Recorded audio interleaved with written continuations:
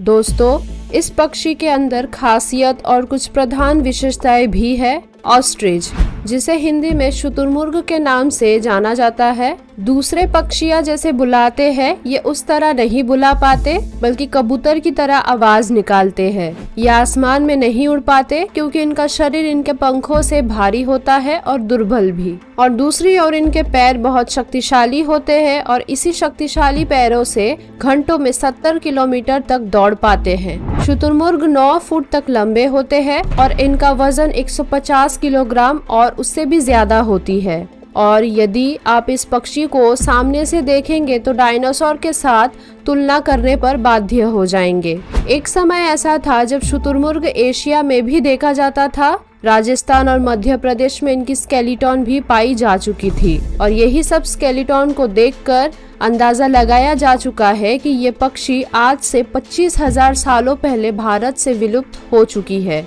लेकिन भारत से इसकी विलुप्ति का प्रधान कारण क्या था, ये समझना बहुत ही मुश्किल था। ये भी हो सकता है बदलता मौसम तथा इंसानों के अतिरिक्त हस्तक्षेप का कारण। हालाँकि, ये आकार में बहुत लंबे और शक्तिशाली होते हैं। इन्हें कोई जंगली प्राणी झट से शिकार भी नहीं कर पाते। उदाहरण स्वरूप, इस क्लिप में देख सकते हैं कैसे शुतुरमुर्ग हाइना को भगा रहा है। ये बस आप लोगों को एंटरटेन करने नहीं दिखाया गया है, बल्कि वास्तव में ही अगर ये इनके पीछे पड़ जाए तो इनको मार कर ही दम लेते हैं। एक बार इनके पैरों को देखिए, जो बहुत सख्त और कठोर होते हैं, और इनके चार इंच तथा और भी बड़े नाखून भी होते हैं। इनकी एक लात में 2000 psi शक्ति मौजूद है, अर्थात इनके एक लातों से हाइना की हड्डियों को भी तोड़ सकती है। हालाँकि ये इतने जल्दी किसी पर हमला नहीं करते, इनके साथ दूरी बरकरार रखेंगे तो ये कभी भी आप पर हमला नहीं करेंगे। और उनके इलाके में घुसकर कोई उन्हें परेशान करे तो वो हमला करने पर बाध्य होते हैं। शुतुरमुर्ग अत्यधिक गर्म इलाके पर निवास कर पाते हैं, और यही नहीं सहारा मरुभूमि के इलाकों में भी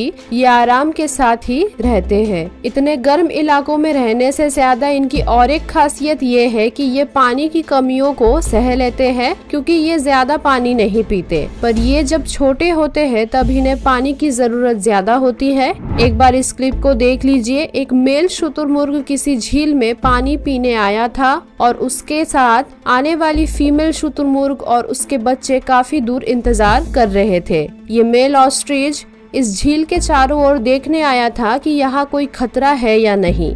जब खतरा नहीं दिखता, तब मेल ऑस्ट्रिच फीमेल ऑस्ट्रिच को इशारा कर देता है और धीरे धीरे फीमेल ऑस्ट्रिच और अपने बच्चों को लेकर पानी पीने आ जाती है। ये बच्चे अंडे से बाहर निकले हुए सिर्फ़ एक महीने ही हुआ था और कुछ दिनों में ही अपने माता पिता के साथ घूमने निकले थे। और ये तो आप सभी जानते ही है कि इनके अंडे पृथ्वी के सारे पक्षियों में से सबसे बड़े होते हैं। और एक मुर्गी के अंडे से एक शुतुरमुर्ग का अंडा 24 गुना बड़ा होता है। और यही नहीं, ये मुर्गी के तुलना में एक शुतुरमुर्ग 50 गुना भारी भी होता है। इसी वजह से शुतुरमुर्ग के बच्चे जब अंडों से निकलते हैं तो बड़े ऑस्ट्रिच के सामने बहुत छोटे नज़र आते हैं और इस अवस्था में अपने माता पिता के साथ ही उन्हें रहना पड़ता है, क्योंकि कौन कब आक्रमण कर बैठे इस वजह से। शुतुरमुर्ग आकार आयतन में बड़े होने की वजह से इन्हें कोई शिकारी प्राणी हमला नहीं कर पाते और इनके बच्चे काफ़ी छोटी होने की वजह से इन्हें जंगली जानवर बहुत आसानी से शिकार कर पाते हैं। ये बच्चे कम पानी पीने की वजह से इन्हें प्रतिदिन पानी की ज़रूरत पड़ती है और इनके छोटे मुँह होने की वजह से ये कम पानी पीते हैं। और वही दूसरी ओर अगर यही ऑस्ट्रिच थोड़े बड़े हो जाए तो एक ही बार में तीन से पाँच लीटर तक पानी पी सकते हैं। इस वजह से अगर उन्हें कुछ दिनों तक पानी भी न मिले तो वो अच्छे से समय बिता लेते हैं।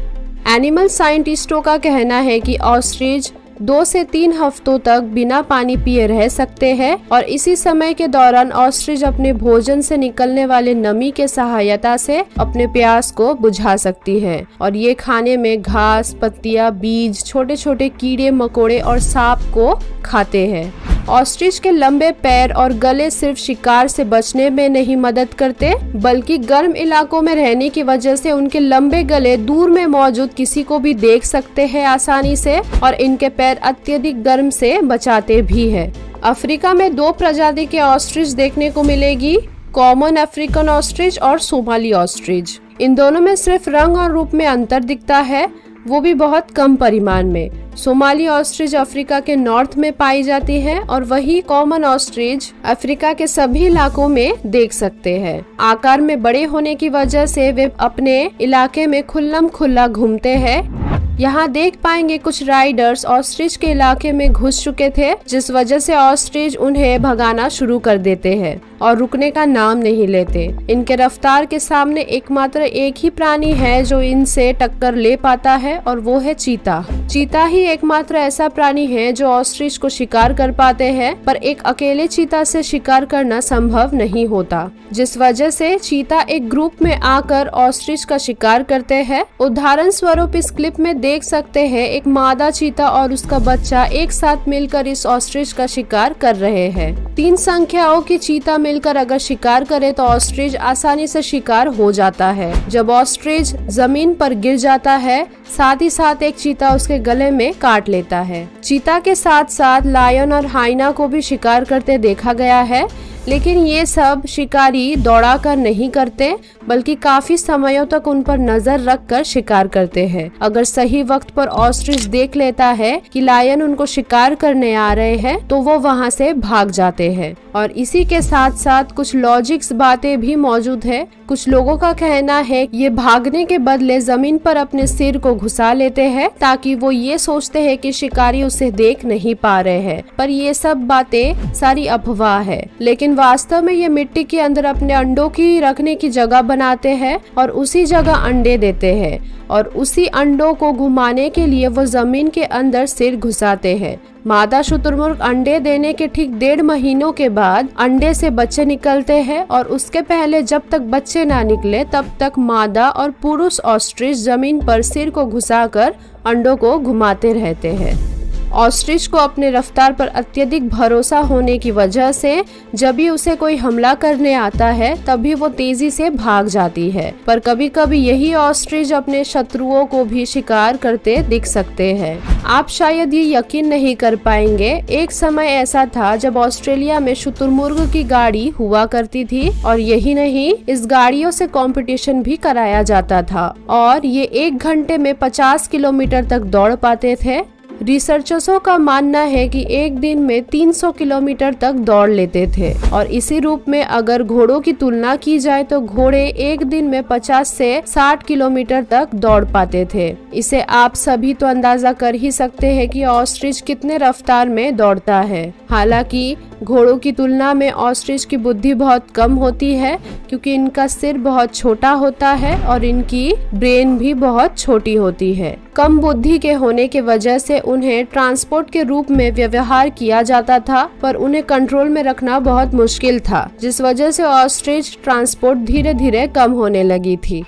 दोस्तों, आज के वीडियो यही तक। अगर वीडियो को अच्छी लगे तो एक लाइक ज़रूर करें और अपने फैमिली और फ्रेंड्स को भी शेयर करें। अगर इस बारे में आप कुछ बताना चाहते हो तो नीचे कमेंट करके ज़रूर बता सकते हैं। आप लोगों में से अगर कोई हमारे नए व्यूअर्स है तो जल्दी से हमारे चैनल को सब्सक्राइब करें और पास में दिए हुए बेल आइकन को प्रेस करें और ऑल पर सेट करें, ताकि अपलोड होने के तुरंत बाद आप लोगों के पास नोटिफिकेशन जा सके। So finally thanks for watching